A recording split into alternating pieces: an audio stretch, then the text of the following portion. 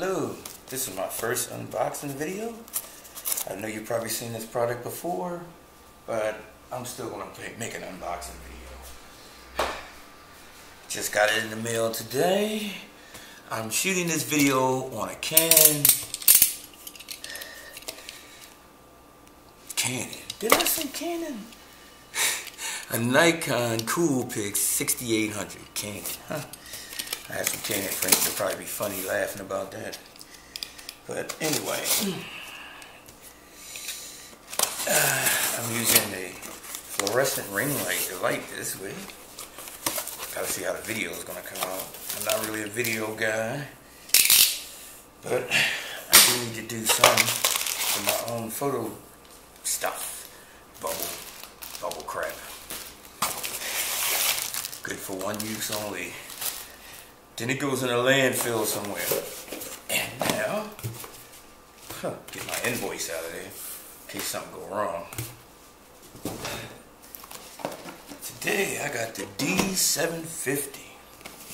Now I've heard good and bad reviews about it.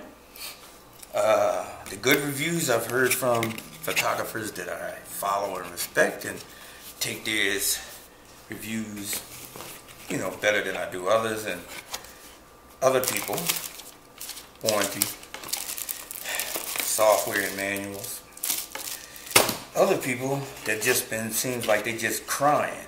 They really crying because it's not a D700 replacement. No, it's not a D700 replacement. Part of the charger, USB cable, battery charge, battery that needs to be charged. I don't put them in until I charge them first.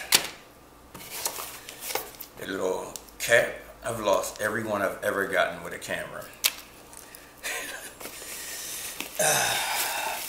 This seems like a, a, simpler, less complicated box than most. Me get that crap out of the way.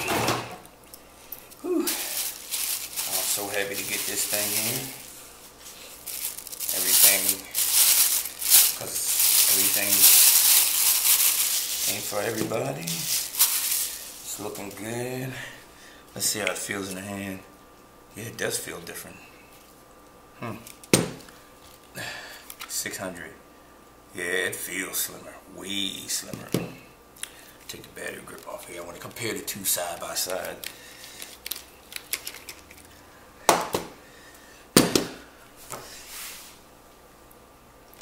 Some of the complainers are saying, oh, this is just a D800 and a 600 body. No. I can tell you by looking at them, they're not the same camera. Hmm.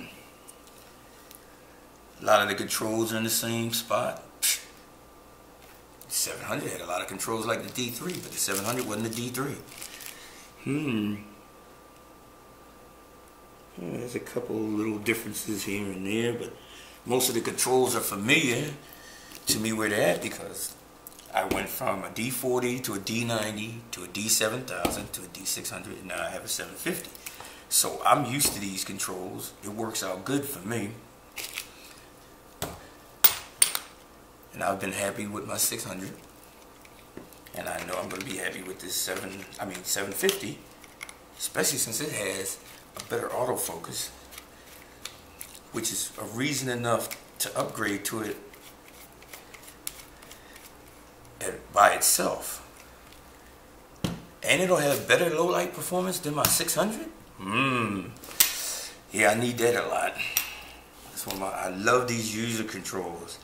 I can program two in if I'm going at, at an event or something and there's different lighting situations in different rooms that I have to go in and out of or outside, back inside. I can set my lighting for in memory for two of them and use manual on another and I'll have three settings that I can get to with one or two clicks without whining, you know, about having the ISO control on the top. I really have to set change my ISO while I'm shooting. And as you see, I keep a light meter for a lot of situations. Um, it's looking good to me. So this is the articulated screen thing. I'm being a little cautious because I'm scared I'm going to break the dang thing. but it do, it feels pretty good. Carbon fiber, huh? You ain't gonna be able to tell by feeling it.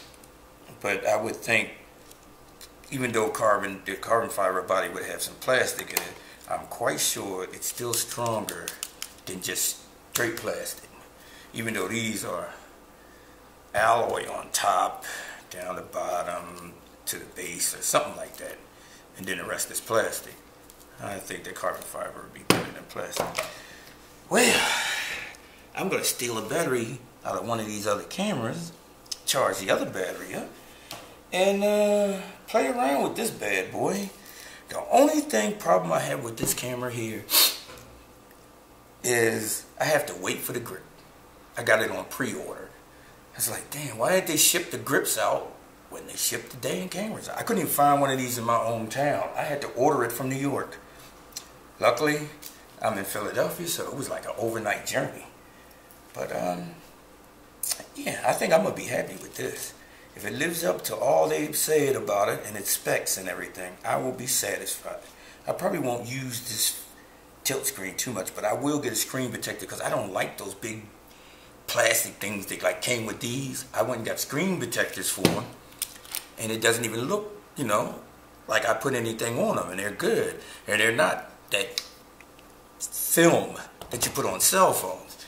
They're like seven layers of material, one of them being glass itself, and um, they look better without that big milky plastic thing on there, and which ends up getting scratched up and dirt gets caught under it and then you turn around and you uh, got scratches on your actual screen because dirt got caught between that plastic thing and the screen. So that's a word of advice. All right, I'm out of here. Peace.